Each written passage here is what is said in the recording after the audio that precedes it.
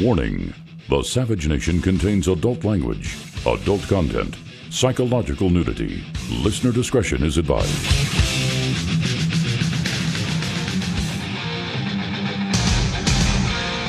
And now, America's most exciting radio talk show, The Savage Nation, home of unprotected talk, borders, language, culture.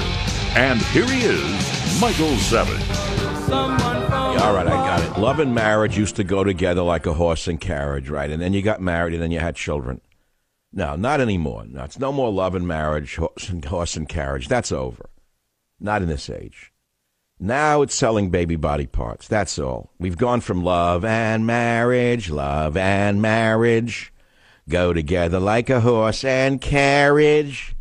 This, I tell you, brother. Well, that that's over. That is so retro. That's so 50s. Well, unless you're gay, then it's love and marriage, of course, and then it's okay. But it's it's obscene if it's a man and a woman. In the new America, in the brave new world we're living in, it's it's obscene if a man and a woman get married and have children. And uh, it's not obscene to chop up babies and sell the body parts by the ounce if you're in Planned Parenthood. Now, as you know, I talked about this yesterday, and the people who should get credit for this are those who did the underground film of these animals, these vermin, these Nazis that would have worked for Adolf Hitler to selling Jewish teeth. This woman who was seen in that video who was talking about how Planned Parenthood proudly is involved in this, sort of, you know, obtusely, would have sold the gold from the teeth of Jews in the concentration camp and talked about it as the, the byproduct of the dissolution of, uh, of enemies of the state. And so I got angry yesterday, very upset over it. I was sick all day from it. I really was. I was worn out from it. It just was such a hard topic to do but it needs to be done again. And so I started to search my mind last night in bed. I said, wait a minute, this is nothing new. I remember back in 2000 when I just began in talk radio as a national host after six or, God, six years as a local host on KSFO.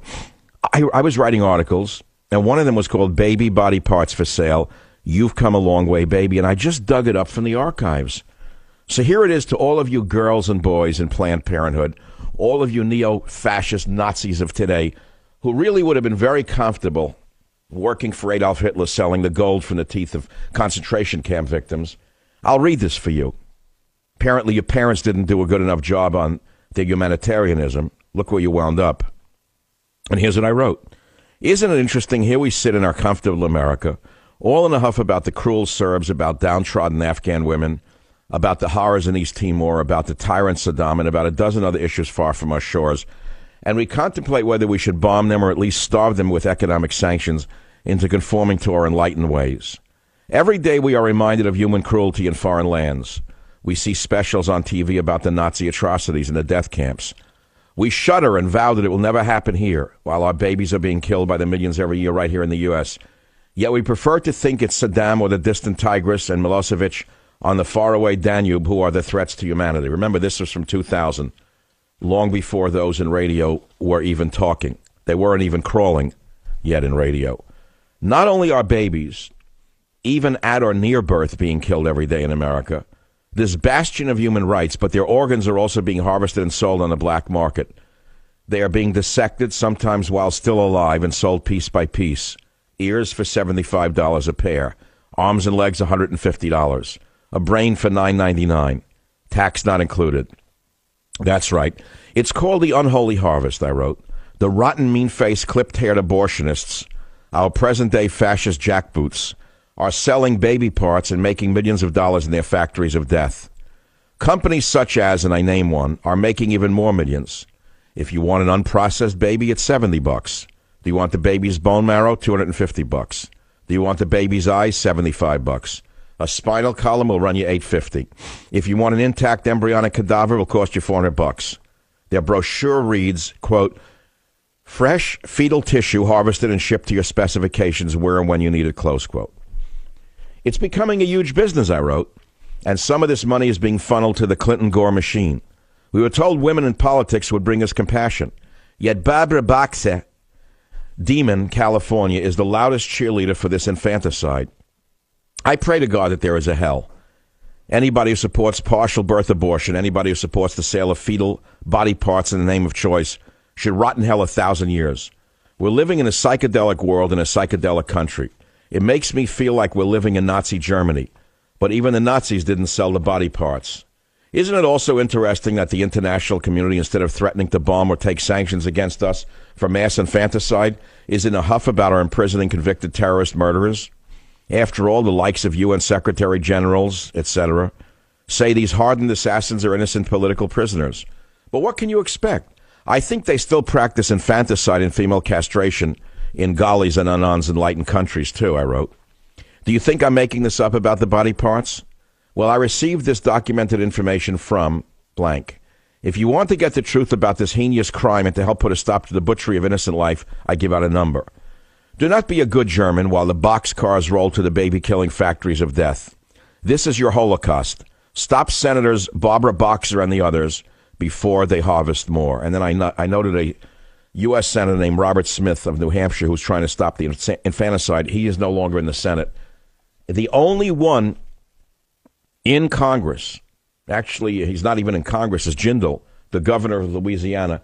He is the only politician who is having his police apparatus look into Planned Parenthood and their infanticide.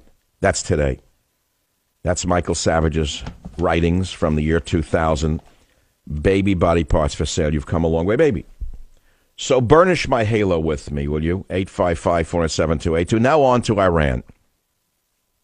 This is an interesting story because uh, the uh, Ron Paul, the Ron Paul, Ron Paul says it's a good deal. Many of you libertarians agree with him. Ron Paul praises Iran nuke deal, says critics misinterpreted it. So Ron Paul is actually supporting uh, the man with the crazed eyes.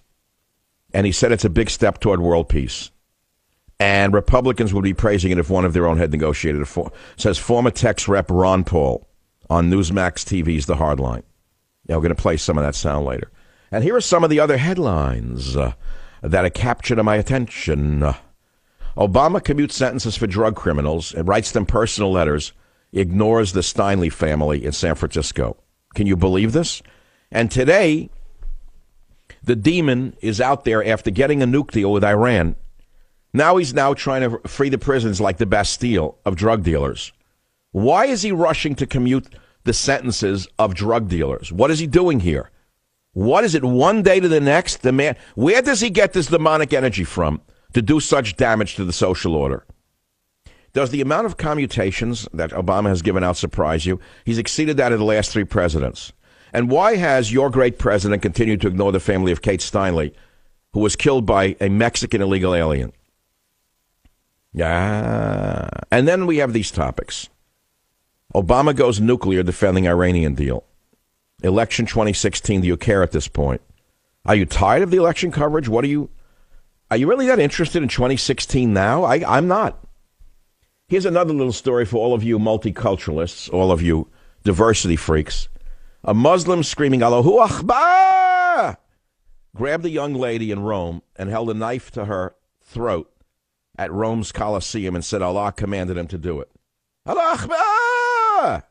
It's the religion of pieces, as I've said to you. Definitely a religion of pieces. I mean, peace. I'm sorry, I misspoke. It's a religion of peace.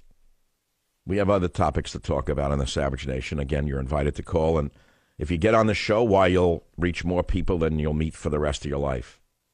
Please, the regulars, we, we know your voices already. Don't call. There's a regular bill from MAL. Take a walk. There's a guy in New York on WABC changes his name every day, and the minute he gets on, it's like, oh, I tell the screener how do to get through you for God's sakes. Regulars are show killers. We don't want them. Go call a liberal show and give them your opinion, okay? We'll play the Ron Paul clips. We'll talk about the topics of the day. I'll talk about the statin drugs. I never get. I don't know if it's statin or statin. You say Apple. I, I mean, how do you do that? I don't know whether it's statins or statins. I always get it wrong. And here I am, a medical professional with an actual doctorate in the field. How do you? Why is it statin or statin? I think I once remembered it was statin, like Staten Island. Remember Staten Island? Statin drugs, good or bad. They're pushing statin drugs now to younger and younger people because the the medical uh, pharmaceutical establishment is so powerful and so greedy. After they've drugged your boy to death down to the age of zero, they put your children on drugs down to the age of zero. Now they're moving to lower the age at which they recommend statin drugs. I don't take them. And by the way, I'm at very high risk of a heart attack and have been for 30 years or more. According to the data, I should have been dead 30 years ago. Sorry. I'm not tempting you, God. Please, you know I'm just joking. I'm one of your jesters. Okay. I'm one of God's jesters. I admit that. I'm not one of the jesters of the government. I'm one of God's jesters. He put me on earth to entertain you. And don't pay any attention to anything I say. After all, I'm not at ABC. I'm not like that guy Wilson, whatever his name is. I don't even know his. I can't remember Williams. I can't remember his name. I remember the neighbor who hung himself again. Williams. Williams. Brian. No, that's a reliable source. The Dan Rathers of our time. That's who you turn to for the truth. I don't take statins. I took them once and my legs didn't work. I just can't take them. They're horrible because they cause a lot of damage in the liver. Now, the good doctors who put you on statins don't, they're not trying to do you harm. Many of you can tolerate low doses of statins, and fine for you. Uh, and they also are smart enough to put you on coenzyme Q. I don't take statins because it made my muscles just unfunctionable. My, my leg muscles were so bad I could hardly walk. So my liver was talking to me, and my liver said, Mike, stop taking statins. They're not good for you.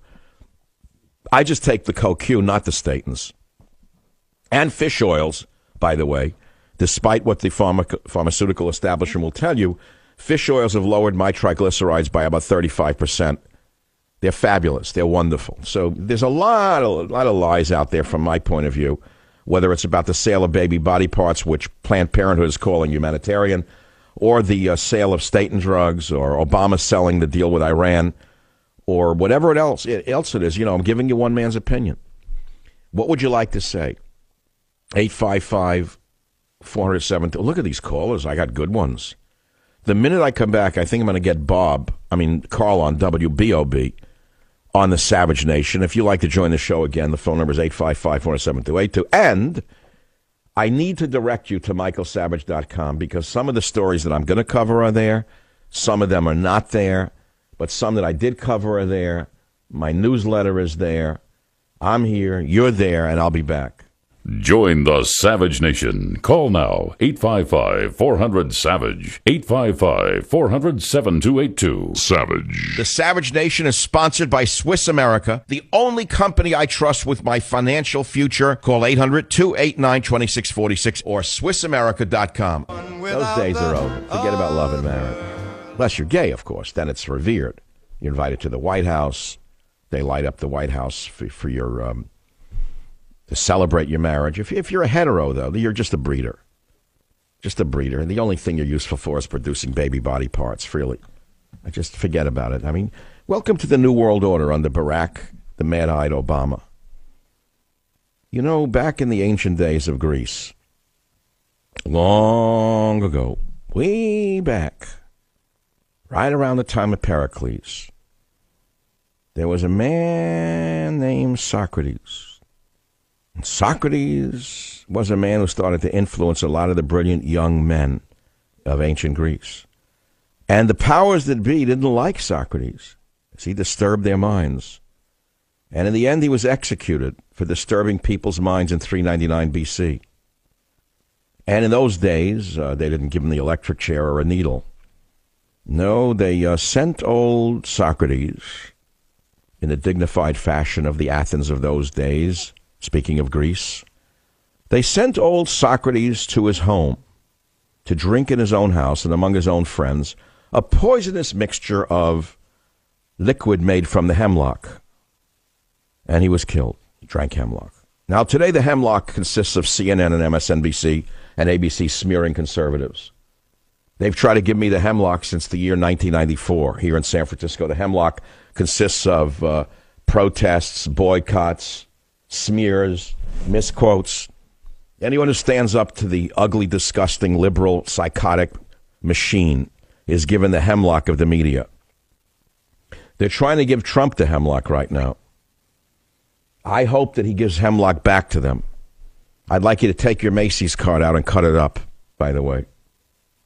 I'd like you to take out your Macy's card and take a scissor to it. Trump supporters cut up Macy's credit cards after store severs ties. That's all. You know, you have the power of the purse. There are far more of you buying things than there are illegal, Ill, you know, illegal aliens, incidentally. And if Macy's want to cater to the illegal aliens, good luck to them. You know, they can change their name from Macy's to something else. But anyway, they can change it to Hasties if you like. I don't know. I go through Macy's near me. I walk through there, there with the dog. I try to avoid the perfume department because I have an allergy attack every time I do from that toxic poison. But I'm not going to go in there anymore. I, that's I'm cutting up the card. You know, you're in a war for the survival of America. You got to do what you got to do. 855 472 is the phone number. WJR James, fire away. You're on the Savage Nation. What's on your mind?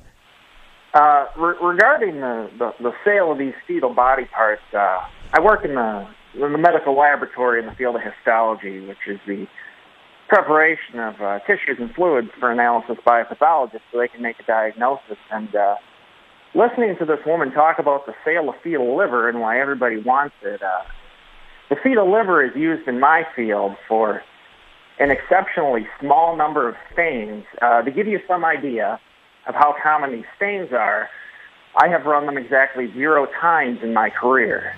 Uh, did, you say? Did you say? Hold it. Did you say fetal liver is used for a certain type of stain? S T A I N.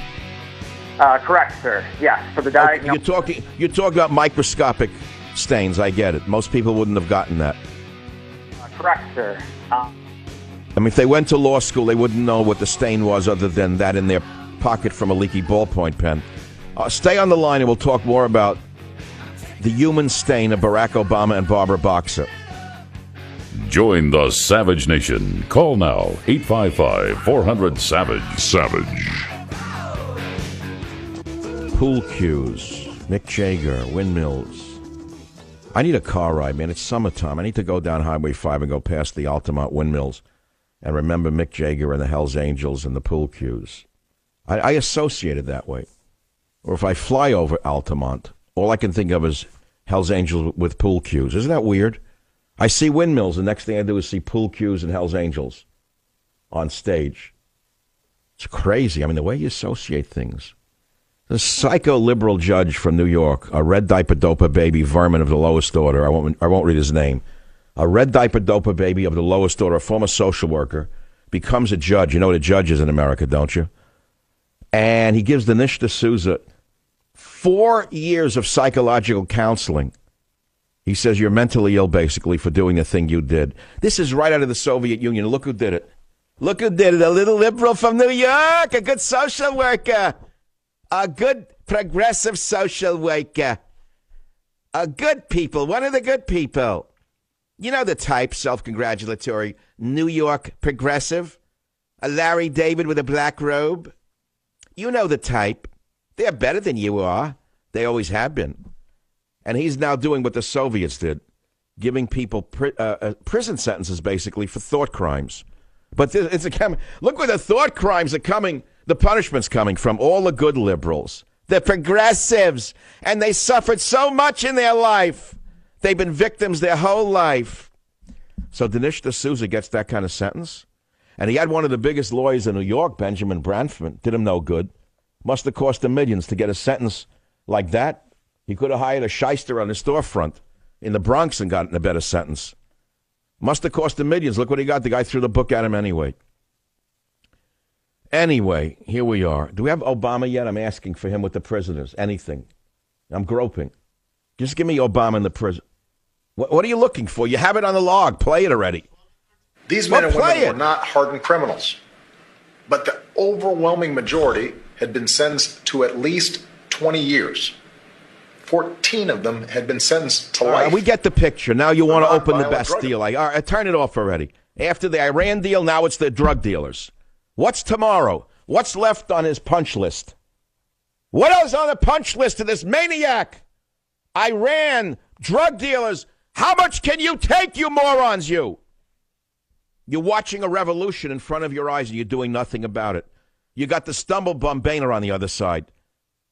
I don't know how this guy gets up in the morning, Boehner, and shaves himself with the shaky hands he must have, the shakes in the morning from all the booze that goes down that gullet. What a putz. No protection from the other side, and we the people are nullified.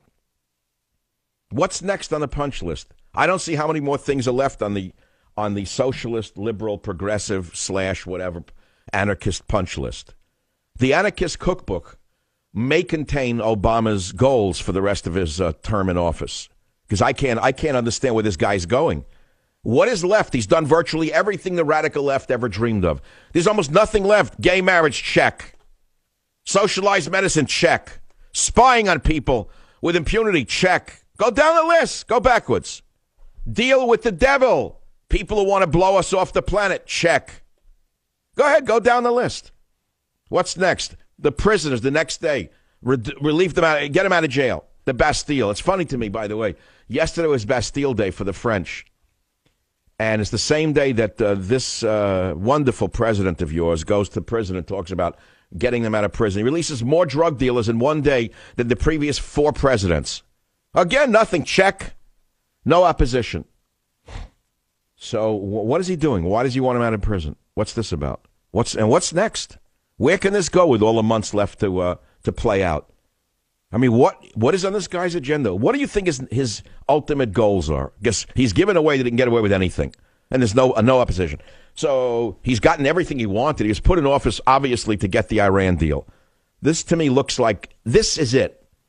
If you really want to analyze the biggest piece of the whole deal, it's the Iran deal, giving them the right to develop a nuclear weapon under the guise that is for peacetime use. And that's the number one thing he was put in office for by the secret powers, that to put this man in office and keep him there. Well, what's next? Tell me what he can do next. What is next? What's on this man's punch list? Tell me. WJR, George, go ahead. You're on the Savage Nation.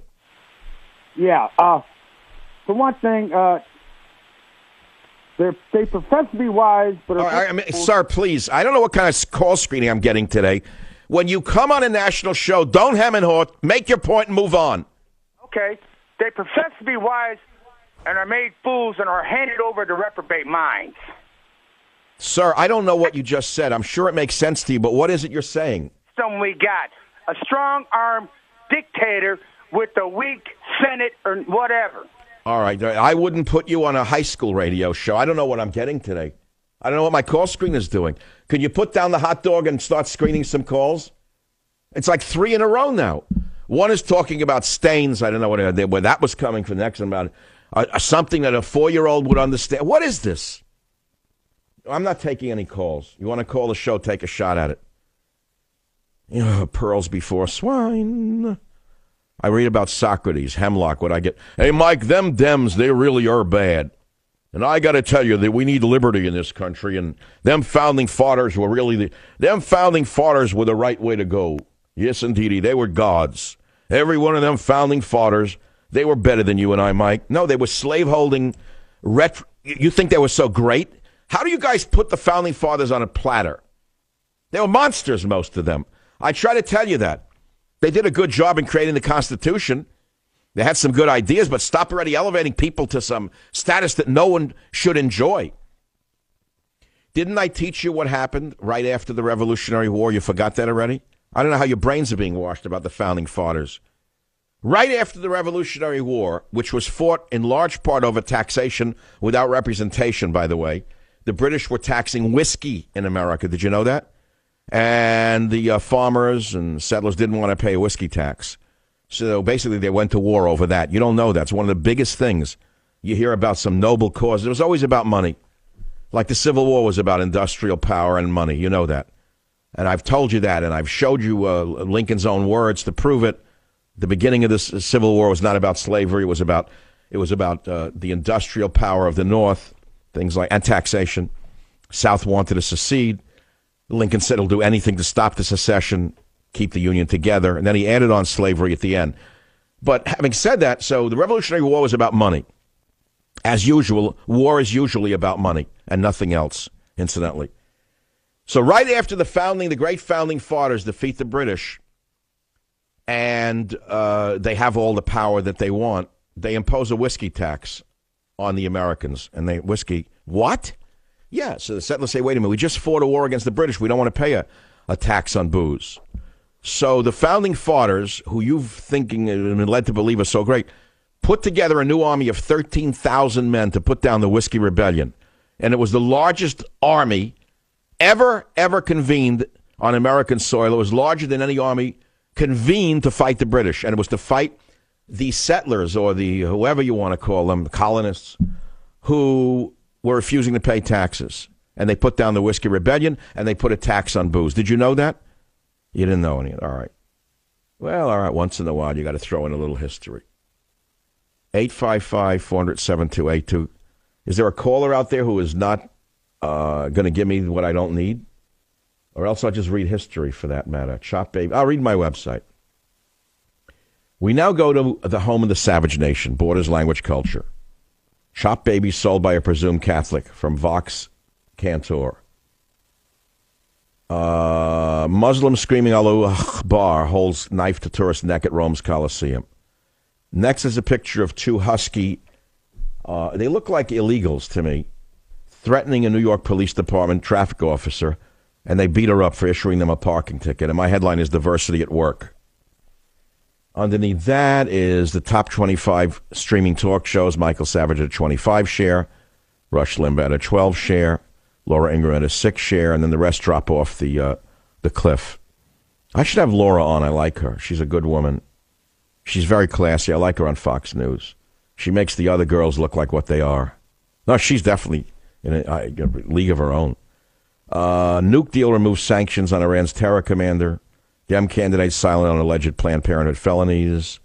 Court forces nuns to violate religious beliefs. DH boss can't say if administration reaching out to SF murder victims' family. The genius Jeh Johnson says he didn't know who he was. Never heard of the Steinle family. Where'd they get this guy from? Who is he? Next story. Trump supporters cut up Macy's credit cards after store severs ties. Oh, here's a hot one for those of you into this uh, national security. Defense Secretary calls military's transgender ban outdated and orders review. That's just what we need. Boys and girls, that's just what we need in the war against ISIS. Is transgender troops. We need them badly. We must have transgender troops to face ISIS because they're tougher, they're meaner, they're better fighters. And the military is not about fighting anymore.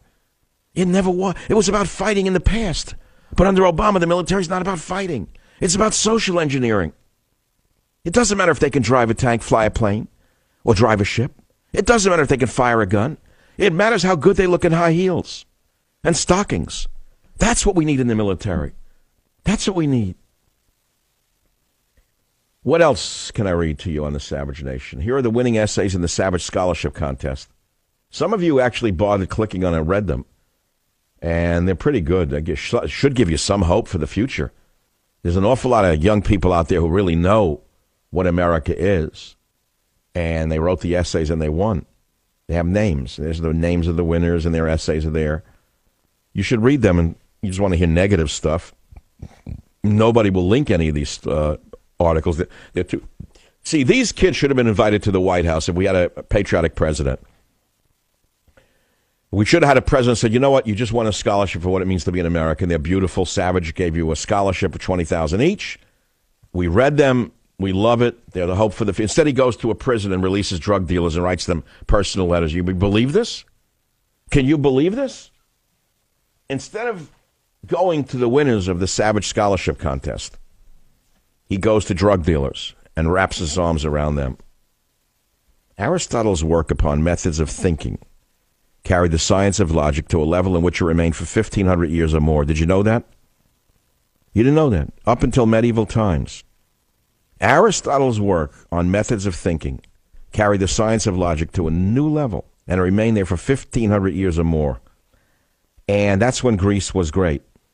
Now, since then, I don't know what they've exported. I don't mean to be sarcastic, but I mean, ever since Aristotle, I've seen nothing. Maybe Zorba the Greek came out of Greece and uh, some music, music, admittedly music, yes, some music. I can't think of a Greek product I use. I'd like to. Kalamata olives, okay. But California's matched them in the olive world. A lot of dentists went into the olive business 20 years ago for tax tax reasons. So they have a lot of olives in California. I, I don't like the uh, small black olives because I almost broke a tooth once on the uh, on the pit. Dangerous, dangerous. An olive with a pit. Wow, that's like a pit bull without teeth. I'll be right back. Join the Savage Nation. Call now 855 400 Savage. 855 400 7282. Savage. Hey, our Savage Nation is sponsored by SwissAmerica.com, the only company I trust for wealth insurance, gold and silver. Call 800 B U I C O I N. Michael. I think it makes sense to lock so many people alone in tiny cells for 23 hours a day for months, sometimes for years at a time. That is not going to make us safer. That's not going to make us stronger. And if those individuals are ultimately released, how are they ever going to adapt? So there's the president pandering to the most dangerous of all prisoners, those who were so dangerous, not only to other prisoners, but to the guards that they're put into solitary confinement. And here he is pandering to them. Not one word to the family of the uh, young lady assassinated by the illegal alien in San Francisco. Not one word out of this man's mouth. Again, a sympathy for the devil wherever you turn. Now, he's doing it for one reason only. He sees a body of a million prisoners and they can all vote when they get out. Right there, there's an election. You got to remember something. He's a community organizer. He's not a president. He's never been a president. He doesn't understand president means leading all the people, not just a small segment of the people. He is still a community organizer, interested only in a fragmented portion of the population, meaning his base, period. He doesn't care about the nation and the interests of the nation. Now, why would he go and pander to those on uh, in solitary confinement? What? What's that about? They're all innocent. You mean the guards are fascists and mean and they put him there because they want to just punish people, Mr. Obama? Are you nuts? Ask a guard what it's like to work around dangerous felons who have killed other guards. Where would you put them, you schmuck? You'll be a guard for a day, put on a uniform and see what it's like. Walking around there like a genius. A genius, you don't know anything. You don't know what the hell you're talking about half the time. Iran is now our friend. People on, uh, on death row are our friend. Cops are no good. Thugs are good. Burn Philadelphia down over one guy who died in a police van. We still don't even know why. Freddie Gray in Baltimore. That was his sympathy. He gave a speech about Freddie Gray. Suddenly he was a Boy Scout and a, Medal of Honor winner. Not one word about uh, Steinle. So everything this guy does is an affront to people with intelligence and decency. There's not a decent bone in Obama's body. Everything he does is aimed at the uh, other side. Shall I say the other side of reality, or what is this here? Borders, language, culture. 855 407 You can, oh my God, dial into the show. Look at this. I finally got one or two callers who are making sense, like Douglas from FTL on 3. I'll get to you in a minute. Or Alex on ABC. I'll get to you in a minute. Or BAP or KSFO. Or, but, you know, we'll do in the next hour. And that's it. So I'm going to take a quick break. Then I'll be back. Two more hours. Be here, be nowhere. Got to eat lunch during the show now. I get very faint if I don't. Trying different styles of show. In the beginning, I wouldn't eat lunch, and I remain on a high wire for three hours. Then I started eating heavy lunches, and it would make me drowsy. Now I'm doing a hybrid. It's not working. It's either or. I'm an extremist. I need to have either no lunch or so much food where I'm falling asleep. I'll go for the latter during the break during the break and see what happens when I come back. See if I can even, if I'll be comatose or whatever. Join the Savage Nation. Call now 855 400 Savage. 855 400 7282. Savage.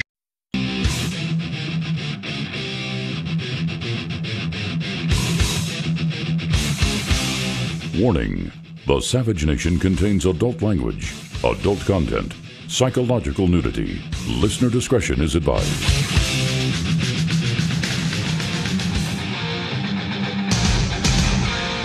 And now, America's most exciting radio talk show, The Savage Nation, home of unprotected talk, borders, language, culture.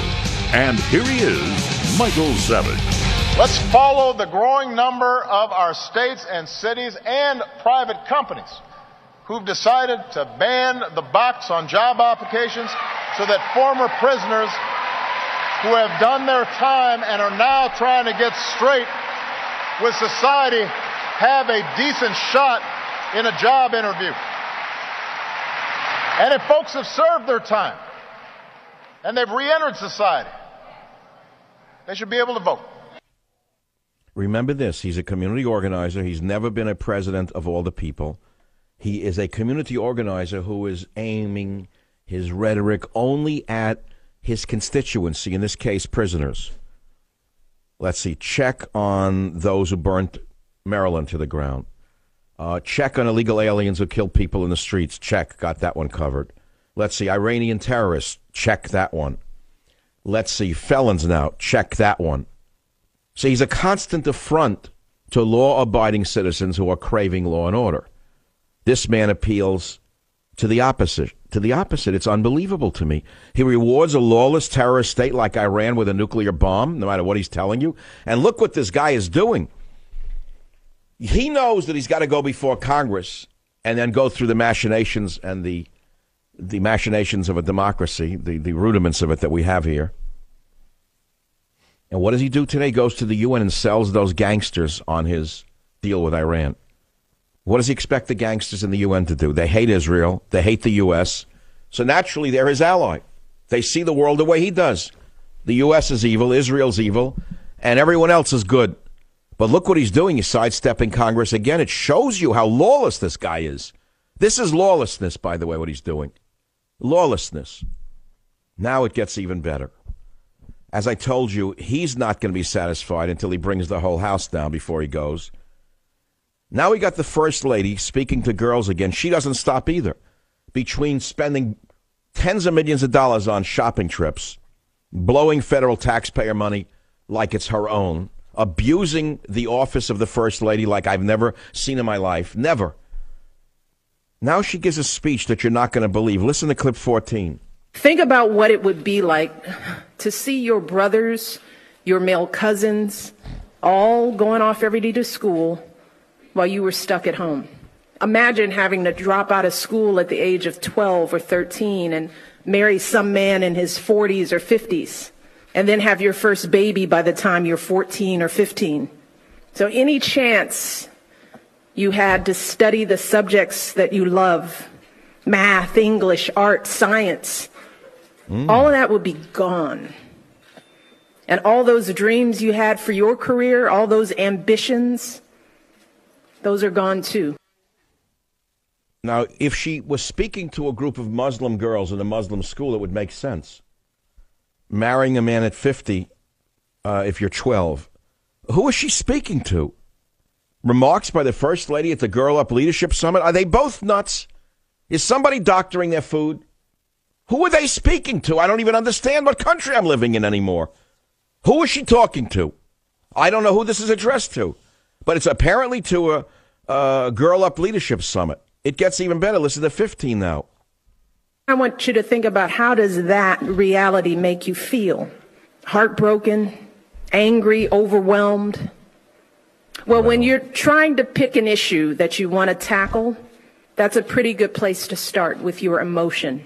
In fact. I think you should always start oh with whatever issue moves you. Oh, boy. Moves you right here. That's oh. the best way to know how to invest your time. Is she crazy? She's repeating what, the rhetoric of the 60s. What, if it feels good, do it? Why not do it in the road? Don't use your brains, just use your emotion. That's really what they need to hear from the First Lady. You want to have sex? Go ahead. Why not do it in the road? Have a baby at 13. Why not do it in the road? If it feels good, do it. Just what they need to hear. Listen to 16 now from the First Lady. And that's what I'm going to be doing on this issue of girls' education for my remaining time as First Lady and oh, beyond. help us all. I'm going to be oh, traveling to other developed countries and Meaning urging a, them to a join the United right. States and investing yeah, yeah, yeah. more in girls' education. Yeah, yeah, or shopping And I'll trips, also be get it. traveling to developing countries. Right, more and shopping. highlighting how those investments are actually transforming girls' lives on the okay, ground. right. And I'm going to be using every tool that I can Mm-hmm. media, social media, whatever it takes to get the word out. What word? What is she talking about? I, I'm asking you, I'm a reasonably well read man. I consider myself reasonably knowledgeable about politics. I am listening to this babble. I don't know what she's talking about. I don't know who she's talking to. Imagine having dropped out of school 12 or 13 and marrying a man in his 40s or 50s. What is she talking about? Who? Is this to a Muslim girls' school in London? No. Who is she talking to? So now it ends in clip 17. You got to hear this one. When I look into the eyes of girls like you and around the world, I say this all the time. I see myself in you. I see my daughters. Oh, turn it off. This is you. such rubbish. It's beyond belief. Here is a woman who grew up in a, a middle class family. Everything was given to her on a silver platter. She never struggled a day in her life. Ask people to know the background. Again, making believe she's down with the people. What? No. How much of this rubbish can we take from these two? Well, there's a lot of months left. Look what look what uh, Bush did in the last few months. That'll give you some idea what they're going to do to us. So he's at the UN now selling the deal with Iran. Here's another one. This is amazing. Did you, you know the story I broke yesterday on the show? The Boston police captain son became a terrorist who likes ISIS. And I asked you, remember I gave you a contest, guess the police captain's ethnicity? And I like stunned you. I said, you immediately assume he's a Muslim. He isn't. An Italian from Boston, no less. It was shocking, really. I know that. So here's the Boston cop's alleged terrorist son on ABC News. You got to hear this entire clip, too. Listen. In your mind, then, is all of the United States an enemy? Yes. And every person. Yes, it's unjust. The people that you see being executed are criminals. They're criminals. They're the lowest of the low. The group that calls themselves ISIS or ISIL, they're doing a good thing? Yeah. Yeah, they are. They're doing a good thing. And what part of what they're doing is good? Like, what what's good? They're implementing the Sharia. They're freeing people from oppression. Now the Islamic State have, comes in. They come in with guns. They don't come in peacefully. They come in with guns and they come in with knives and they, they take people's heads off and they, they kill people. They That's, kill enemies. They kill oppressors. Well, those are understand. People.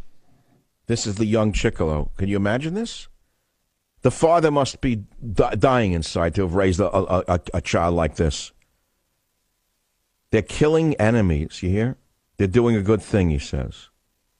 The people that he says the people they're executing are criminals. That would include, I guess, women and children and all members of non Muslim tribes or religion, rather. Blowing up churches is a good thing. Obviously, this Ciccolo is a brainwashed you know, loser of the lowest order. There's definitely psychological damage here.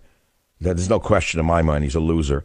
But you have to understand something. Losers can be very dangerous. You can't write him off just because he's a loser.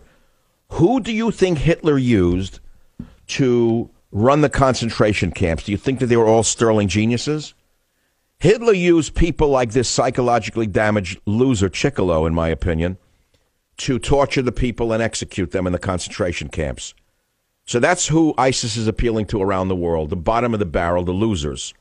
And in this case, it's a Boston cop's uh, son, which is unbelievable to me how far the propaganda has gone that they can reach uh, weak minded nuts like this in this, uh, in this way. It's unbelievable to me. All right, let's go to one quick caller. Line number three. Douglas on WFTL. Line three. Go ahead, please. Douglas, what's your point? you were talking about most wars are started over money and power, and you also mentioned Pericles.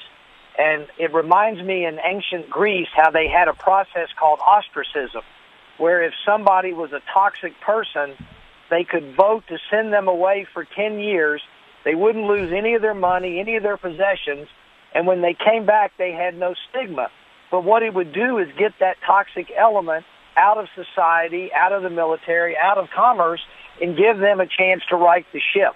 As you watch the people that hang around Washington, a Charlie Rangel, uh, a Mitch McConnell, a John Boehner, uh, people that just are only for themselves, they need to be removed from the process so the process can heal itself. Yes, but th- you're talking about a people's court. You're talking about a people's trial of the criminal political class that has run this country off the rails, that would permit a man like Barack Obama to do what he's doing on a daily basis without any opposition because they're interested only in feathering their own nest and the nests of their supporters, like McConnell with the coal. McConnell with the coal deal. McConnell with the coal deal. Remember he was given coal by the Supreme Court in exchange for gay marriage? Do you remember that one? Yes. Okay. And how is that going to happen? How are we going to remove these gangsters from office? Tell me how. When they're so entrenched and they own the, and the only uh, the government media complex, how do you remove them from office? I think the only way is that the way it was done then is it took a vote by the people. So if public opinion was so much against somebody that they were doing something wrong, they would be removed from. Well, we did. We voted in November. Look who we got. We got wor- a worse Obama and a worse Republican Party. So, so I don't have the immediate answer for you. If I did, uh, I'd be a genius, which I'm not. I'm a great talk show host, and that's about it. But I would say this the only power we, the people, have is ridicule right now. The more we ridicule Obama, Michelle Obama, McConnell, Boehner, Republican establishmentarians, the vermin in the media, the more we ridicule them, the better and more powerful we become. Do you know that? Don't think that they're not subject to ridicule. They, they hate it. It drives them crazy because they have all the power in the world. The one thing they don't have is the respect of the people. And if we deny them the respect and we ridicule them, we are asserting ourselves as citizens. I'm Michael Savage. I'll be right back. Join the Savage Nation. Call now 855 400 Savage. 855 400 7282. Savage. Your Savage Nation is sponsored by SwissAmerica.com. It's the only company I trust for tangible assets, gold and silver. Call 800 B U I C O I N. All right, so Obama blew it today. He had a press conference to uh, to peddle the Iranian nuclear deal because it's not doing as well as he thought, except in terrorist uh, quarters. So he fields a question from CBS White House correspondent Major Garrett, who asks him about the four Americans held captive in Iran and why he didn't seek their release during these negotiations. Listen to the interchange. Major Garrett to Obama. Play it, please. As you well know, there are four Americans in Iran, three held on trumped up charges, according to your administration, one whereabouts unknown. Can you tell the country, sir, why you are content with all the fanfare around this deal to leave the conscience of this nation and the strength of this nation unaccounted for in relation to these four Americans. And last week, the chairman of the Joint Chiefs of Staff said under no circumstances should there be any relief for Iran in terms of ballistic missiles or conventional weapons. It is perceived that that was a last minute capitulation in these negotiations. Many in the Pentagon feel you've left the chairman of the Joint Chiefs of Staff hung out to dry. Could you comment?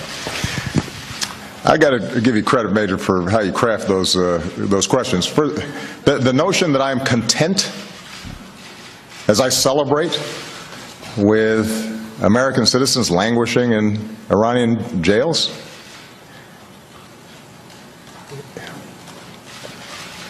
Major, that, that's nonsense. You whisper to him? Hold it. Stop there. And you should know better. Did you hear his advisor whisper to him? Did anyone hear that? Robert, did you hear that on the sound? He was about to attack the reporter when one of his handlers whispered what he should say. I want you to start with Obama answering Major Garrett, and I want all of my listeners to listen to the advisor whispering in his ears. Listen. Oh, you need time. Okay. Got to restart. All the way back to Garrett? I hope not. No, I don't want to play it then. Forget it. We have, an, we have a faulty system here in the studio. It's not up to the standards of my show, and it needs to be fixed immediately. I need you to go back to the spot that I need, not to the beginning like the dummies that didn't hear it. Okay? He says, I've got to give you credit for how you craft those questions. The notion that I'm content as I celebrate with American citizens languishing in Iranian jails. Major, that's nonsense, and you should know better. He was told to say that. You could hear the whispering. And he says, I've met with the families of some of these folks. Nobody is content. And our diplomats and our teams are working diligently to try to get them out. Oh, really? Oh, yeah, John Kerry is just hopping to get them out. Now, if the question is why we did not tie the negotiations to their release, think about the logic that that creates. What logic? What logic does that create? They're human beings, which mean nothing to him. All he wants is to deal with Iran. Obama scolds CBS's Major Garrett for question about U.S. hostages in Iran. Let's listen to the response in the Savage Nation. I got to give you credit, Major, for how you craft those uh, those questions. For the, the notion that I'm content as I celebrate with American citizens languishing in Iranian jails. Did you hear it, Major? That that's nonsense. They and knew he was going to blow his temper. I've met with the families of some of those folks. The handlers. Nobody's content. Right, got, did you hear this? He was about to blow a fuse, and the people who control him, the controllers, whispered to him how to answer. I can't believe it. God, I wish I had somebody here in the radio studio all these years. whispering to me when I was about to go over the edge. I would love that. I might even be uh, the president of uh, Carvel stand if I did that. I don't really need anyone whispering to me because I rarely make mistakes. If I do, I paid. Believe me, I paid dearly for them. He doesn't pay dearly for anything. Doesn't matter. Does a deal with Iran. And by the way, look, I told you before, he he's not alone in thinking it's a good deal. Your hero, Ron Paul, who I think is a certifiable nut, uh, praised the Iran nuke deal and says critics misinterpreted it. Can we play the Ron Paul in clip three and four. You won't believe this. Listen. There's something to be said about moving in the directions of at least talking to people uh, instead of saying, all right, you're scoundrels, we'll keep our $100 billion we've taken from you, and all options are on the table. Like, if you don't do what we tell you, we're liable to use our nuclear weapons against you. The tone has been changed. I think it's to our benefit and it's to the benefit of world peace. I don't think you can Ron find Paul. many times where they literally lied uh, about what they're doing. They have no troops, uh, literally troops. They're involved, uh, you know, uh, in other parts of the world. Wrong. But they, they haven't invaded other countries. I mean, we have boy. troops in 150 countries, and we have weapons all over the place. I think our foreign policy is basically driven by the military-industrial complex, and if they can sell something, they will keep stirring the oh, pot. boy. Now, how does Ron Paul differ from Hillary Clinton? How does Ron Paul differ from that nut from New York? That crazy man. The soapbox guy whose name I forget. He doesn't. Join the Savage Nation. Call now 855 400 Savage. Savage.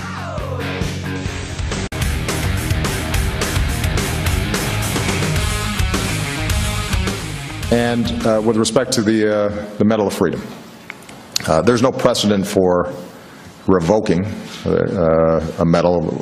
Uh, we don't have that mechanism. Um,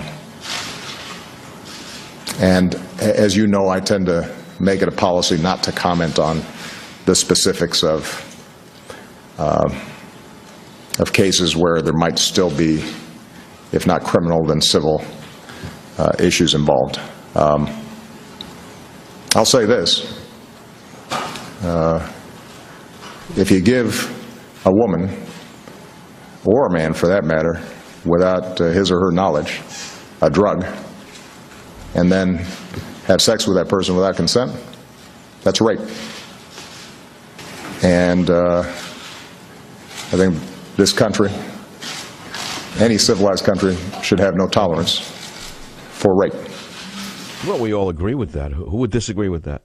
But why is he chiming in on the attack on Bill Cosby, since the man has not yet been charged with a crime? Why is he ganging up on Bill Cosby? This is what I'm saying to you. You see how bad this is getting? How cowardly this really is? I would say that I don't know whether Bill Cosby did anything bad. We don't know what he really did. Do we really know? Has he gone to trial? The lynch mob already has hung him from a tree, mainly white liberals. Why have white liberals rushed to hang this black man without a trial? And why are the so called liberals so anxious to attack Bill Cosby of all people? He's the worst man on earth? Is he the worst man on earth? The worst man on earth, the worst man on the planet is Bill Cosby with no trial. So now even the president's chiming in to curry favor with the radical feminists who are out to get this man. I don't know what he did. I have no idea whether he did it or he didn't do it. There's a lot of lies out there. He said, she said. We don't know if these women are just doing it for a little, you know, money, a little payola. But I refuse to get into this uh, if I haven't seen a trial. Why? Why is the president rushing the judgment on Bill Cosby? Why? Because it's an easy shot. Very easy shot. That's all. But that's not a big topic. I don't want to have anyone to call on that one. It doesn't really matter to me. He didn't release the hostages. He didn't get anything out of the deal. He gave up everything and he got nothing. WMAL, Anna, welcome to the Savage Nation. Anna, what's your what's your position today on any topic? Go ahead. Yes, I'd like to speak about Obama. You know, he seems to be an expert at uh, lighting the fuse on both sides and then watching it burn. We've seen this both uh, domestically and pretty much overseas, obviously, with the Middle East and the nuke war agenda he's set in place. And, uh, you know, basically the world's on fire with American people in the, the middle. And as far as the domestic, we're dealing with the war on, you know, race and religion, you know, the Obamacare, home, owner, home ownership for all, which ends up being home ownership for the few. And, you know, the list goes on and on. And it's just such an outrage to hear him speak with such arrogance. And he's so condescending and he's not a man of the people like he should be. No, no, he is the condescension and the arrogance is something that's hard to bear. It's never been seen in a modern American president. The arrogance and the condescension is something that's nauseating, frankly, because it's built on a very thin, thin background. He didn't find the cure for polio, did he, before he became president? He was nothing but a low-life community organizer before they made him a senator. Then what? Then what? Then they pushed him into the White House by manipulating the voters, manipulating the, the figures, getting white people to feel guilty if they voted against them. They ran the moron McCain against him, who basically shot himself in the foot and told you to elect Obama. We know what happened. And they did it twice now. Now, if he did a sterling job, we wouldn't even be having this conversation. But how do, how do you compute this? We're ridiculing him for the deal with Iran, and yet Ron Paul, a hero of libertarians says he's right in doing the nuke deal. How, how does that compute to you? It's total insanity, in my opinion. Then, then, so Ron Paul is as insane as uh, the liberals. In this case, yes. Right. That's right. Ron Paul is a lunatic. He is no different than Bernie Sanders or any other left wing lunatics. And I don't think he helped the Rand Paul's campaign. Rand Paul's not getting anywhere, anyways, and not even getting out of the starting gate. He's finished. I don't think there's enough telephone books in the in, in, in the city to bring him back to the status he needs in order to uh, to even run. Can I send you a copy of my novel Countdown to Mecca? I have I think six left to give away. That's all that's left in the warehouse. It's sold out. I don't know if they're going to go back to press, but I'm going to give you one of the Countdown to Meccas that I have to give away if you'll stay on the line. KCMO. That's in St. Louis or Kansas City, depending on where you live. That is such a you know I you know sometimes I read a a station call letters like it has such power to me. Because remember I grew up as a as a local talk show host. One station very important to me. It was it was my whole pride that one station KSFO I reveled in it. I loved it. I still do. I love being on a local station. I love it.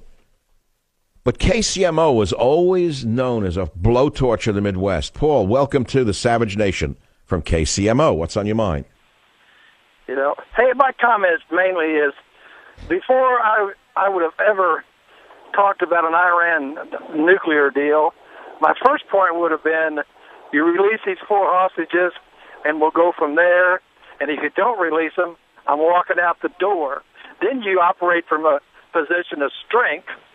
Right. So why did Obama throw them overboard? Why do you think he did that? Kerry and that left wing fanatic social worker from uh, uh, Emily's list, who did the deal, by the way, and her picture's on michaelsavage.com. It was not Kerry who did the hard negotiating. It was a left wing fanatic. The same woman who worked for Carter and gave Korea, North Korea, the right to develop nuclear weapons, did this deal. Why didn't she want these hostages released? Because it, it's, I don't know. It, it, Nobody knows. Nobody knows. It's that simple. WJR, Jim, welcome. You're on the Savage Nation. What's on your mind? Hello, Michael. This is uh, Jim from Michigan, and uh, I first of all I want to start out by taking conservative commentators, and you're amongst that group, to task. I've been listening to you folks for a couple of decades now, and things have done nothing but gone gone downhill. I don't hold you responsible. Well, if you put me in the category with all the others, you're starting off on the wrong foot from my point of view. But please make your main point. What have we done to disappoint you? I you haven't won any elections. You you haven't been able to persuade the. I, I don't understand where you're coming from. You're blaming me for the fact that the Democrats are winning. They are definitely winning, and it doesn't make. I agree with you. I understand, but why are you blaming us? They're rigging the vote. They're bringing in illegal aliens. They're having people vote multiple times. So why are you blaming us for what's happening? What? Uh, what? Where are you coming from? Are you a liberal who's trying to put down conservatives? Where are you coming from? Dr. Savage, I read Conscience of a Conservative, Goldwater's book, when I was 12 years old. I've been a conservative, and I'm now. Well, fine. I'm a Goldwater conservative. What is, what is it about my message that isn't correct? Borders, language, and culture is not something that your hero Goldwater would have approved of? We're, we're on the same page, probably 75%. But well, of course. So what's your complaint then? I'll give you an example. Specifically, ridicule. Ridicule will get us nowhere. It's a waste. You're 100% wrong. You are a they're demeaning and they deserve every ounce of ridicule we can give them. It's the one thing that Obama doesn't get enough of. Dr. Savage, that's fine. You know, I agree with you on that. But the, the vote him out of office. We did that in November, didn't we? And look what we got. Your friend Boehner and McConnell the Gobbler, who, who did it all for the Kentucky coal job. All right, we, we've had enough of this. I really have a major fundamental question here on this. What is this, Wednesday? And people are getting so worked up, including me. It's the summer. Relax. So he gave the nuke to Iran. What's the big deal? And so he's releasing uh, felon uh, drug dealers from prison. Relax. It's your summer. Go and barbecue. Go grill a little bit. Cool off a little bit. Just relax. Relax like him. The man is on a warpath against America's middle class conducting a jihad against the middle class, and I'm supposed to sit here and just do a show and, and have a good time. No, not going to do it. I take the job seriously. Some days, not as much as others. Some days, more than other, than I than I should. Today is in between. It's not bad, and that's because I didn't overeat for lunch. It just just arrived. Took an hour to get here, so I haven't been able to narcotize myself with food to slow down. But the fact is, if you want to do politics, we could do it from today until tomorrow. And what good is it going to do us? At least we can express ourselves. I know someone who's very intelligent who said, I've given up on the political process because no matter what we do, it doesn't matter. Obama's going to get his agenda no matter what we say, no matter what we do. He's going to nail us to a cross, all of us. And I ask you again, what do you fear this demonic community organizer will do next? in his jihad against the middle class? And Lanny on WBOB has an answer. Lanny on WBOB radio. Go ahead, please. What's on the community organizers' short list next? Reparations. That's the one card he has not played that he's holding in his hand is reparations. Now, how is he going to enact reparations? Who's going to pay them? Who do you think is going to pay them? Who's paying the bill now?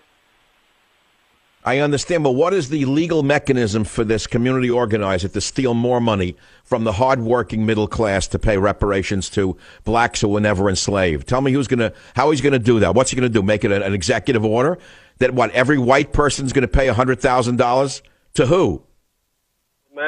Excuse me. The legal mechanism is what he's doing today. Exactly, ignoring the law ignoring every bit of the law, the Constitution. Well, I've covered this issue of reparations many, many times, and of course, no one today is, is uh, has ever suffered slavery ever, and nobody listening to this show has ever kept a slave. So the whole point is absurd. And if the uh, African American community wants reparations, boy, we have a lot of answers to that question. How about the billions and billions of dollars that have been paid already in other forms? Where'd that money go? And moreover, who, who, who should receive reparations? Oprah Winfrey? Should rich African Americans get reparations or only poor? And what money, what number do you cut it off at? And by the way, should Africans who've just arrived in America over the last five years who've never suffered slavery also receive money just based on their race? Or is it limited only to African Americans whose families go back to the slave days? It's a very complicated question. And by the way, who pays the reparations? All Americans, including me, whose grandfather was an immigrant, who came here when he was 13 years old, and I was, uh, I'm the grandson of an, uh, son of an immigrant, by the way. I owe reparations for what reason? Well, because my grandfather worked hard enough to die of a heart attack at 49 and never kept a slave. I wouldn't pay 10 cents. I'd go to jail before I paid a dime to these gangster criminals. I won't pay a, ten, a penny. Put me in jail before I pay a nickel in reparations. Not one cent comes out of my pocket to this gang. I'll be back or I'm going to say something I really regret.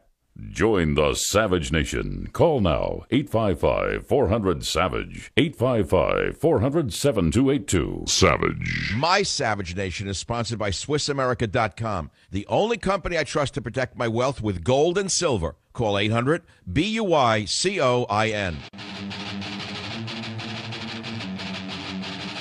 You want to talk about reparations? We can do it. many people are asking, what is this community organizer going to do to the middle class next? He's checked off his punch list, including the biggest ticket item, which is deal with Iran to give him the right to develop a nuclear weapon and get nothing in return. Because he got nothing in return, nothing, going to zero. Nada, nothing. He was put in office for a number of reasons. This was the big one. That's the big kahuna. Give Iran the nuclear weapon. Change the entire world balance. Throw Israel under the bus. Show Netanyahu he's a bigger man than him. Show a real war hero like Netanyahu that this community organizer is a bigger macher than Netanyahu. Typical left wing punk. Always wanting to show that they're better than better men than them. There's an ego here that's beyond comprehension. You could see it in his demeanor, his arrogance, his disconnection from reality. But I'm not a psychologist. I'm a talk show host. So what's next on the agenda? What's on the punch list? Well, a man just called and said reparations. And I am saying to you that there's no mechanism for reparations that have already not been paid. Welfare, you name it. Reparations have already been paid to the nth degree. And what did it get us? Take a look at Baltimore. You'll see what it got us. That's all. So, who will pay the reparations? Those descendants of people who kept slaves? Well, that would be logical. They benefited. Who are they? Uh, and who would receive the reparations? Those whose ancestors were slaves, including billionaires like Oprah Winfrey, for example? They also are entitled to, to reparations? And would it be based only on race? Would Africans who've just come here in the last few years who've never suffered from slavery also be entitled to reparations? Of course not. They never suffered from the trauma of slavery. So you can't give them reparations. And who in America should be billed for these reparations?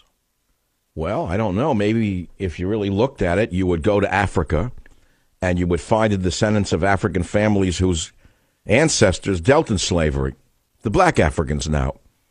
Or you'd go to Saudi Arabia and you'd go to the Arabian families whose ancestors dealt as slave masters, slave traders rather, in Africa, and you could say they owe us reparations. See, see how far you get in Saudi Arabia. Or you can go to Portugal and Spain, and you can go to the families, the descendants of families that dealt in the slave trade, and you could approach them, see how far you'd get in Portugal or Spain. No, you see, see, you can't get anywhere in Saudi Arabia, Portugal, or Spain, or in Africa for that matter, but you can go after the white middle class because the white middle class is weak. You can do anything you want to them. Look how far you've gotten already with your screaming race in a crowded nation, huh? Keep keep it up. Just keep it up. Keep pushing. See how far you get by pushing and pushing and pushing. And see how many other twisted maniacs come out of the closet. The weak ones was mind snap. You keep pushing and you're going to wind up with the whirlwind. That's what you're going to get. So I don't think that he's going to push reparations just before Hillary goes for office, by the way. And I think she's been anointed in advance, if you can believe it by what I see going on, unless Trump is for real, which I hope he is, and he runs and he could win. He'd win, by the way. If he runs, he wins. He'd win. By the way, even the poor would vote for Trump. You don't know that. Even Hispanics who come here to work would vote for him. Because the one thing everyone respects is hard work and money. And he has that. And he built it on his own. And so, as I said to you, even immigrants respect people with power and money. They'd rather have somebody with money running the country than some socialist who's going to take away what they've earned through taxation. So don't be so sure that only the rich would vote for him. I think he could win. Okay, another big hour right here on the Savage Nation. Be here or be nowhere. 855 407 282. Join the Savage Nation. Call now 855 400 Savage. 855 400 7282. Savage.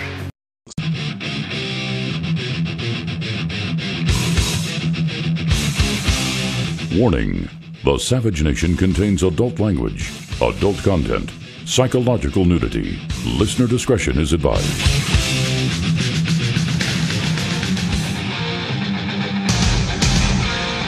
And now, America's most exciting radio talk show, The Savage Nation, home of unprotected talk, borders, language, culture. And here he is, Michael Savage. It is hour number three of the Savage Nation. We've been talking about a lot of the topics of the day. Ron Paul praising the Iran nuclear deal. He sounds just like Bernie Sanders. Uh, Barack Obama uh, talking to prisoners the day after talking to the terrorist nation of Iran and giving them a nuclear weapon on a silver platter. You know, that's what it is. Yeah, peaceful use is my eye. We know what the game is. And was not satisfied with that. Now he's talking to prisoners now. And he wants them released. So he releases more uh, drug dealers in one day through clemency or whatever they call it than the previous three presidents. 46 drug offenders. And he vows more commutations. And we're talking about uh, reparations because I've asked people what you think this community organizer will do before he leaves us alone. What, what will he do next? How much more damage can he do to the middle class? So someone said, I'll bet he, he demands reparations for black people. And I went off ballistically because I said I'd go to jail before I paid another dime. See, I've paid reparations. I have paid reparations because I've been victimized through high taxation. I've been victimized through affirmative action, where highly unqualified people were given positions I deserved. Uh, you, you get the picture. You kind of know how it works, huh? If you, uh, you, you kind of know how it works, don't you? So uh, I said I go to prison before I paid a dime. So what else do you think this community organizer will do before he leaves office? He'll do anything he can to uh, get even with the middle class he despises for some reason. What are they doing? Why do they hate the middle class so much? Why is she agitating? Why is he agitating? They they haven't done well enough in America. Barry from Honolulu didn't do so well, and Michelle suffered as a young girl. How'd she suffer? I love she gives speeches. She was born on the South Side. I had black people call and say that's rubbish. She came from a middle class family, never worked a day in her life. What is she yet? What's she complaining about? What? It's the game. It's the racket. It's how uh, uh Sharpton's done it. Jackson. They all do it. Anyone in that business does it that way. Read Animal Farm and you know how it works. WABC, Tom, you're calling on the reparations issue. Go ahead, please. Uh, yes, hi. So also, um, you have to consider the genetic aspect. I mean, many of the African Americans today are of mixed race. And so, and much of wait, wait, I'm, okay, of mixed race. So what? They should, should only get a certain, a minimal number of reparations, or no? Well, there's further problem. Some of the um, Africans are also of have genetics from the people who enslaved them. So who do they pay themselves? I mean, it's a ridiculous concept as far as reparations. Correct. In other words, if you want to demand reparations, go to Africa and go with the African families who benefited from the slave trade because the, the descendants still live there. Well, that's a possibility. But however, however, the Americans are of mixed genetics, and it, and so they're not entitled to anything.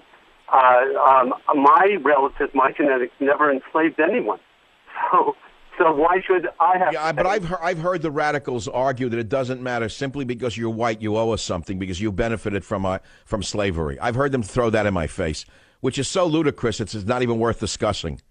Well, but it's complete nonsense because yeah, but that's what the radical left keeps pushing. I'm surprised that Hillary Clinton hasn't come out for reparations yet. yeah, that, that'd be a winning uh, that'd be a winning campaign issue. Instead already. All right, my friend. Uh, yeah, this will come up. Jim on WABC on the issue of reparations, so called. What's your point? Yes, Mike. That caller hit it right on the head with reparations. And the way that they're going to go about it is they're going to incorporate it into the tax. They're going to have a section on the tax form where you check uh, black, Hispanic, or white devil. And they'll give uh, either a tax credit, a tax refund, or a tax break to the black, white, well, so-called minorities. That's the way they're going to go about doing it. Well, I wonder if they get away with that. I really wonder if that wouldn't go to the Supreme Court. Court we have I really, I don't think they could get away with it, honestly.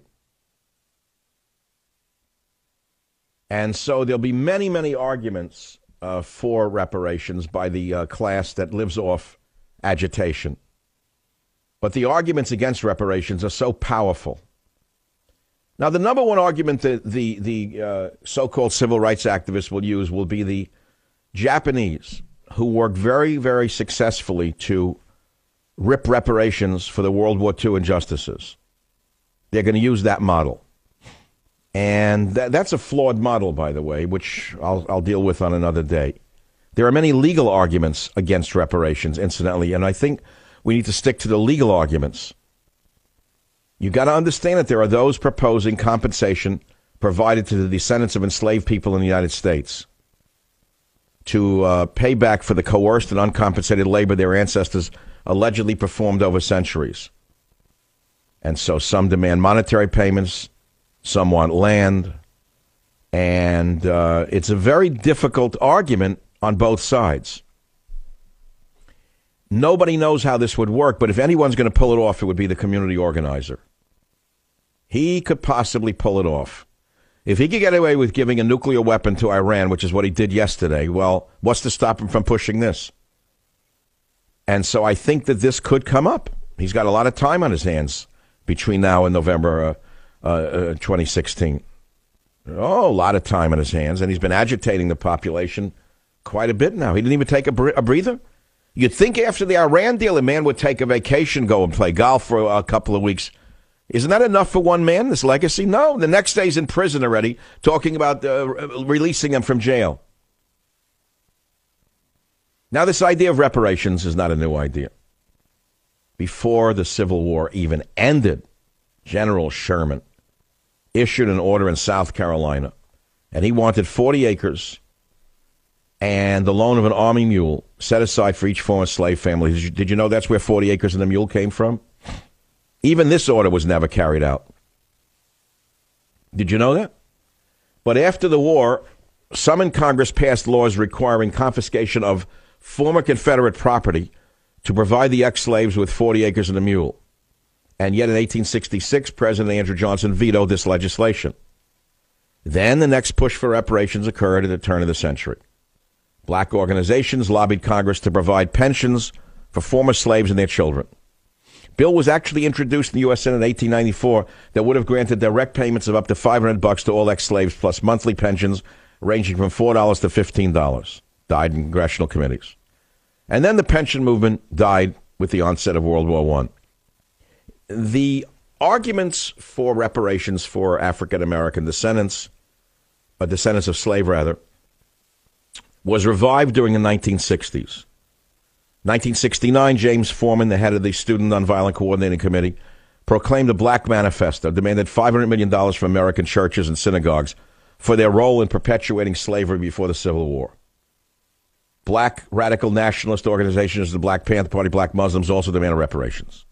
1980s, new call arose for black reparations. So 1989 goes on and on and on. Then Representative Conyers emphasis on the first three letters of his last name, introduced Bill H.R. 3745 in November 1989. And it was again uh, a demand for reparations, but this bill failed to make it to a House vote. But Conyers did not give up. He keeps reintroducing the bill. The question really is why does anyone deserve reparations? Because there are no black slaves living today. Slavery ended more than 160 years ago. And let me remind you, at the cost of several hundred thousand lives lost in the Civil War, mainly white men who died to free the slaves, if you want to put it that way. And why would you ask American taxpayers, many of them from families that came to the U.S. after slavery ended, to pay you a dime for the wrongs of slavery? It's crazy. Moreover, many blacks have succeeded quite well in American society without reparations. How do you figure that? You look at your president. Look how well he did. He didn't need reparations, did he? Look how far he got with affirmative action and white guilt. So, who do you charge for this and who gets the money? Moreover, federal and state governments have already spent billions of dollars on social programs such as welfare, subsidized housing, that's called public housing, health care, employment development, affirmative action, education programs aimed at African Americans. And so, why would you continue to push this idea that A, someone is owed something, and B, someone owes it? This would lead to huge unfairness, huge administrative costs. Let me ask you who would receive reparations? All blacks or just descendants of slaves? Would wealthy African Americans receive payments like Oprah Winfrey? Would Bill Cosby receive payments? Would athletes receive payments? And if a fund was set up, who would manage it? Huh? Uh, who would manage this fund? Another government agency? How much would that cost? And what about those who were denied payments or not paid enough, call for even more reparations and file lawsuits? See, there are a few problems here if you actually use your mind. So you have to think very, very carefully before you rush to judgment. I'm Michael Savage. I'll be right back. Join the Savage Nation. Call now 855 400 Savage. 855 400 7282. Savage. My Savage Nation is sponsored by SwissAmerica.com. It's the only company I trust to protect my wealth. Call 800 B U I C O I N. Yeah, I don't know. This topic's a very, very important one because the community organizer is on a tear to destroy every semblance of decency left in America whether it be gay marriage or a deal with Iran or socialized medicine. Do I have to go off the list? He doesn't stop. Deal with Iran. The next day, now he's pushing, uh, get prisoners now. Now his next, not even a breather, just racing to push the left wing fanaticism down our throats. And then the Pope's in the wings now. The commie Pope is coming to lecture about things he knows nothing about. A climate expert, you hear? The Pope's a climate expert. I, I had a whole show on this two weeks ago. The so called encyclical on climate that was written for this communist pope was written by a left wing fanatic who, A, doesn't believe in God. He practices Gaia. Number two, he would not permit any scientist who had evidence to the contrary. This is not science that the Pope is engaging in. So we're living in very dangerous times.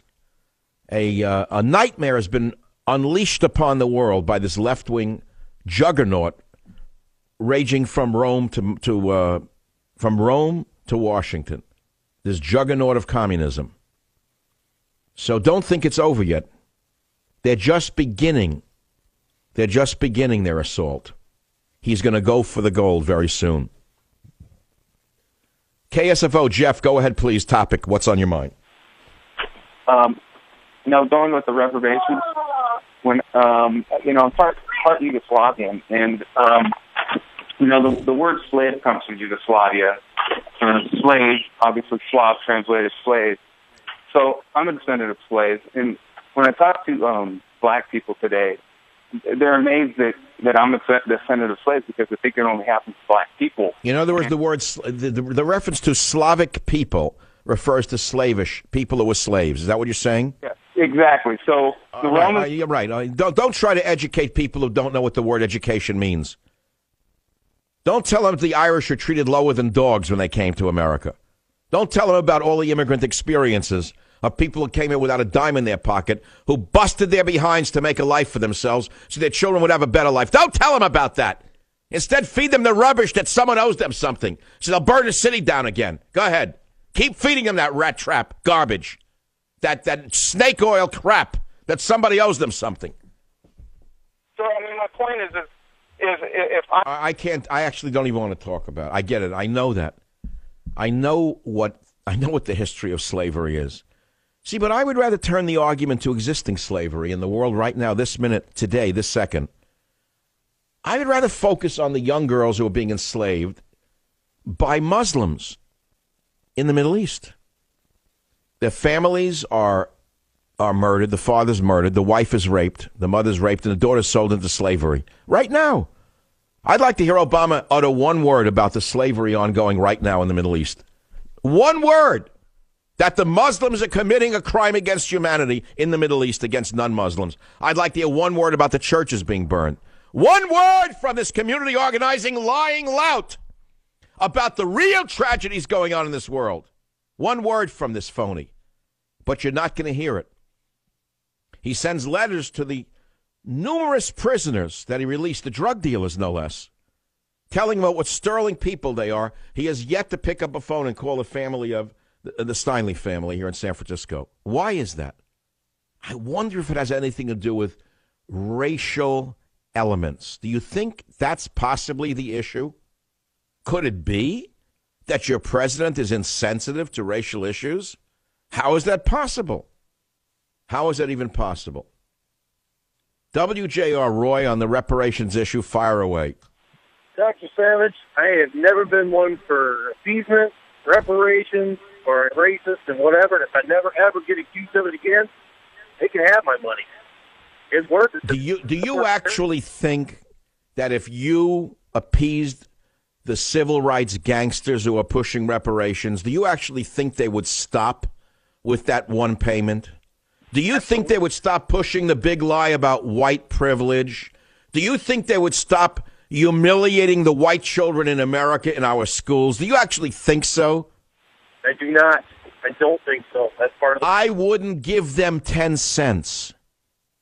I would fight to my death before I'd pay one dime in reparations, and I would go to jail before I would pay one cent in reparations.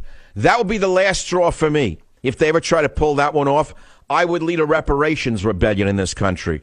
No matter what my age would be, if I had the strength from God, I'd leave a reparation. I would lead a reparations rebellion against the government, and it would be an armed an armed rebellion.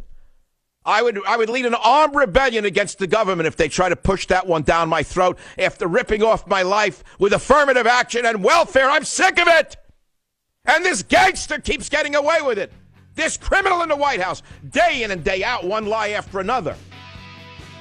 Imperious, arrogant, hostile, aimed only at the white middle class. Look at his policies and tell me who he's going after. Open your eyes, you idiots. And that's all I'm going to say on this issue right now. It will come up again, I guarantee you. So be ready for it when it does. Yes, indeed. I'll be right back. This is the Savage Nation. Join the Savage Nation. Call now 855 400 Savage. Savage. Just out in the New York Daily News, and it's only for the strong of heart. An 83 year old Jewish woman, a religious woman, was raped for four and a half hours by a black male who made her swear on a Bible she wouldn't call the cops. Read it in the Daily News. I know it's very embarrassing. It doesn't fit the narrative. I get it. But it just happened. Daily News, left wing newspaper. An elderly Brooklyn woman was forced by her brutal rapist to swear on a Jewish Bible that she would not call police or else he would kill her, the victim's family said Wednesday. A relative of the 82 year old woman told the Daily News that the victim is bruised from head to toe after surviving the four and a half hour ordeal at her Brighton Beach home. Family members said she is not doing good. She has not slept since this happened. The battered woman told a relative that suspect Asa Roberts, 18, forced her to swear in a Jewish Bible that she would not send the police after him. He took advantage of the fact that she was religious, the relative told the news. He made her swear in a Jewish Bible that she wouldn't call the police, making fun of her. The victim was so terrified that she called a family member instead of the cops once the piece of human trash left around 6:30 a.m. Tuesday morning after raping her for four and a half hours. She even asked me afterward if she had broken her pledge, and I said, "No, you didn't call the police. I called the police." The relative said, "I feel bad." The rap sheet of the suspect, Asa Roberts, included a 2006 arrest for a criminal sexual act one day before his 10th birthday against a victim under the age of 11. Police were also looking for him in connection with an assault on an NYPD transit cop. He was wanted on a bench warrant for a robbery arrest. See, this is the new New York under de Blasio. A fingerprint lifted from the victim's bedroom dresser was matched to the left middle finger of Roberts. The senior citizen's relative echoed police in saying that the victim went out of her way to treat the suspect politely, asking about the teen's family, even asking this piece of garbage if she could make this vermin a meal. She treated him like a grandson, and then he raped her right before he left. He is an animal and he has to be taken off the streets. There was no reason to do what he did to her. Mr. Roberts remained on the run more than a day after the Tuesday morning rape. He was captured on video, both arriving and leaving from the victim's brick home. I guess Obama can send that to the Department of Justice to see if they can doctor it and show that it really wasn't him. After slipping inside through an unlocked door, the attacker hid in the victim's darkened bedroom before the assault began. The 82 year old Jewish woman was punched, slammed into a wall, choked, and sexually assaulted before her attacker finally left her alone, departing with a bag of her dead husband's shirts and a stolen umbrella. He walked out of the house dangling an umbrella like nothing happened, and he had just raped her five minutes earlier, the family member said. Want to talk about reparations? Would you like to continue that discussion about, about the poor downtrodden minorities and the superior virtue of the oppressed? Would you like to talk about that? What would you like to talk about now? I know there's only one case. I realize it was not representative. I understand that. And uh, I, we know that he'll pay for his crime. That's if he actually did it. I mean, the whole thing could be ginned up by the Russian mafia just to make blacks look bad. I get that as well. This could be a fake tape. I mean, turn it over to uh, Loretta Lynch. She'll prove that it's not him in the tape and that it's really um, a Ku Klux Klan member dressed up to make uh, him look bad. Sure, the Ro- Russian mafia did this in Brighton Beach. My only hope here is that there's justice, there's jailhouse justice. That's the only hope I have here. Is that the criminal justice system, as you well know, you know what's coming. You know that all of the all of the good liberal boys out there, some of whom are Jewish lawyers, I'm sorry it's embarrassing to say, some of the best lawyers happen to be of uh, a certain uh, background. They're ready to represent him. They'll make it sound like he was a schoolboy and she came on to him, and he raped. Uh, she raped him. Before they get through with this case, they'll make the cop look like a stumblebum moron who broke the case, and they'll make the poor 82 year old woman look like she invited him in for a rape. Well, that's what law is. I mean, they don't mean any harm by it. Their object is to just make sure that justice is done and justice is served. You understand how that works. The object is to uh, represent their client to the best of their ability to twist and distort the truth. That's all. Rapist punch, choke woman 82 made her swear on a Bible she wouldn't call the cops in a four hour Brooklyn assault. How do you like that story? Can you believe this story? Didn't make it to your local paper yet? Didn't make it there yet, huh? Four and a half hours at a Brighton Beach home? I don't understand this. He, he breaks into the apartment. They show him slipping inside uh, through an unlocked door, hides in the victim's darkened bedroom before the assault began. And then what? She treats him like a grandson? You mean she didn't know he didn't rape her right away? She treated him politely when she saw him in the house? Asked about the teen's family? Asked if she could make the animal a meal? and then he raped her for four and a half hours, and then he beat her up. I guess that's what he does in his in his uh, sick way. That's his idea of uh, sex.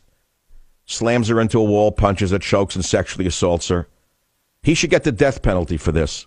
First, they should take off his genitals. You know, none of this is going to happen. None of this will happen. You know, you know what the results are going to be. He's a poor, innocent minority who was oppressed all of his life, and uh, he didn't know what he was doing.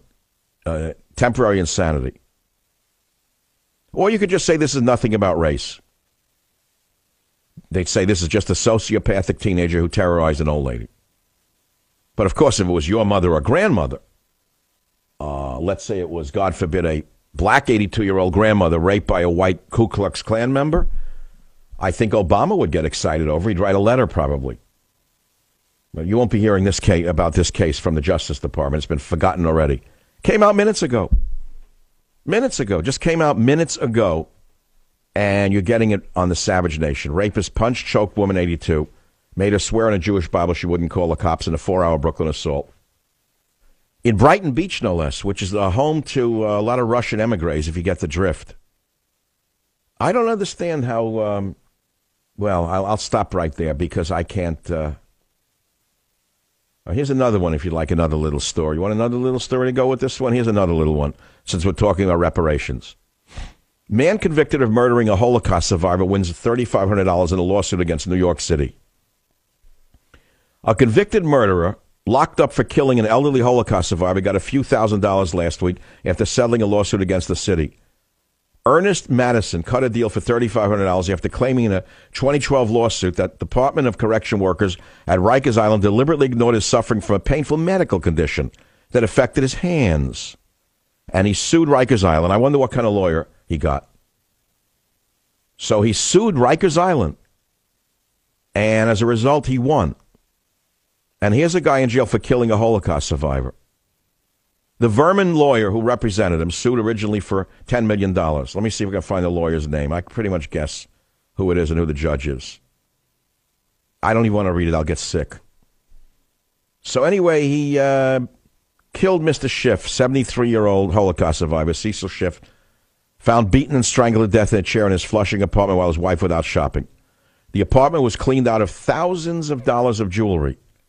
Madison was charged with the murder in 2012 in the middle of serving a 10 year sentence upstate for a different robbery. Prosecutors found three fingerprints in Schiff's apartment that matched Madison's. Well, I think that Obama, since he's going through prison reform, has to really reconsider fingerprint evidence and DNA evidence because I think that the results are biased racially. In that, since see, see, here's how Obama would think. Although fingerprint evidence and DNA evidence is irrefutable, that's my dog. He's so excited by the story, he's barking. Since fingerprint evidence and DNA evidence is irrefutable and has been upheld numerous times in courts, and unfortunately, the preponderance of individuals who are convicted based upon such evidence are not white, it means, therefore, ipso facto, fingerprint evidence and DNA evidence is racist. That's how Obama thinks. That's how Eric Holder thinks. So therefore, they need to reconsider whether fingerprint evidence and DNA evidence should even be used anymore. If, in other words, if the results are biased in terms of the number of people convicted with this evidence, it proves that the that the scientific method is is flawed, and that you have to throw out fingerprint evidence and DNA evidence. If you don't get the results you want, I mean, if you're a social engineer, that's what you do. It's sort of the same thing with global warming. Even though the evidence doesn't support the idea that man has destroyed the earth, is ruining it. Well, the evidence has nothing to do with the conclusion. So you throw the evidence out and you only use the evidence that you want. This is what you do when you're a community organizer or a pope who is out to take over the world. You get the picture. Anyway, that's the story. Man convicted of raping this 82 year old woman for four and a half hours. Actually arrested, not convicted. Uh, made her swear on a Jewish Bible she wouldn't tell the police or he'd kill her. Oh my goodness. Where, oh where, oh where has this world gone? All right, my friends, that's the good news of the day. It's 44 minutes after the hour. I'm in a total sweat. I'll be right back. Join the Savage Nation. Call now 855 400 Savage. 855 400 7282. Savage. The Savage Nation is sponsored by Swiss America, the only company I trust with my financial future. Call 800 289 2646 or SwissAmerica.com. Here's another little story out of de Blasio's New New York, where men urinate in the streets in front of drivers the homeless uh, sleep in the gutter like in Calcutta. And it's got a little twist to it if you listen carefully. Again, from the New York News, came out a minute ago. Man broke 19 year old woman's jaw, hurled anti Muslim remarks at her in Chinatown, say the cops. I figured, so a white racist did it. Shows you how wrong I can be. I'll read the article to you cold. A 19 year old Brooklyn woman's jaw was fractured by a man who hurled his fists and anti Muslim remarks at her in Chinatown, cops said. The woman was wearing garb identifiable with the Muslim faith and speaking to a bro, a brother in Urdu. When the man accused the pair of talking about him at 10:40 p.m. on East Broadway. BH, what you say, you racist MF? You talking about me in your own language? The five foot ten man wearing a dark baseball hat, t shirt, and pants, said, before yelling the slurs, spitting at and punching the woman, cops said. See, it's with a twist. Wasn't a Ku Klux Klan member who punched a Muslim woman in the jaw. But I, I think it's a hate crime. I think raping an old Jewish woman is a hate crime if you're not an old Jewish man and you're not married to her. Do you think that uh, de Blasio will instruct his uh, DA to charge it as a hate crime? You think? Well, you get the picture. You know, we're living in the equivalent of the emerging South Africa of America. Didn't work out very well for them in South Africa, despite what the news hides. You know, you look into the history of South Africa then now, you'll see it's really not the paradise that they let you believe it is. Not at all. But the rhetoric that started there and ended with what we have now is what we what that's the rhetoric that's going on in America right now. But I'll save that for a longer uh, discourse. 855 407 is the phone number. WBAP, Eric, go ahead, please. You're on the Savage Nation. What's your topic? Uh, I'm calling on that rape on the old Jewish woman. Uh, I wanted to see, you know, what's the NAACP and the Reverend going to do about that? Are they going to go and represent him uh, like they do it whenever they're assaulted in any other way? Well, you know the answer to that. Will the president mention it when he Oh. won't even mention the when he won't mention the murder of Catherine Steinle in San Francisco because it's an inconvenient truth she was murdered by a Mexican illegal alien? Right. No, we're living through very, very sick times, and I should say sickening times.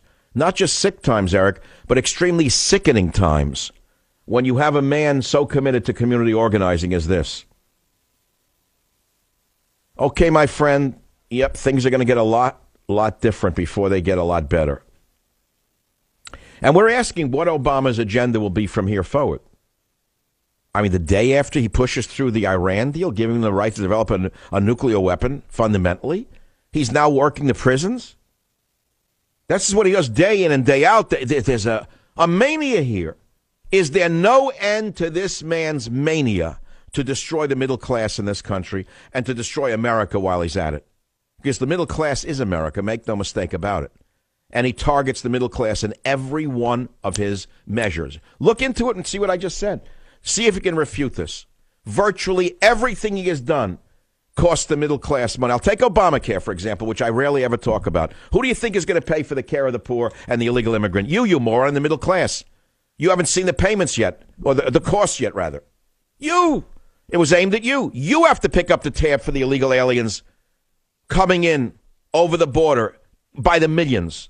You have to pay for the unaccompanied children, their medical care, their dental care, their legal care, their housing, their clothing, their so called education.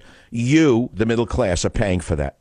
Every one of this man's actions and policies is aimed at the middle class because he, as a longtime Bolshevik, see, I'm not using the word socialist anymore, it's lost its meaning.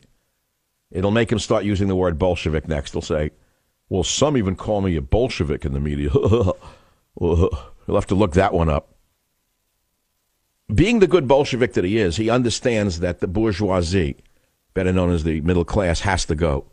Hey, hey, ho, ho, the middle class has got to go. So you do it in any way you can financial, moral, anything you can do. You break the middle class. You bust the family up. You destroy the meaning of family. Do it any way you can.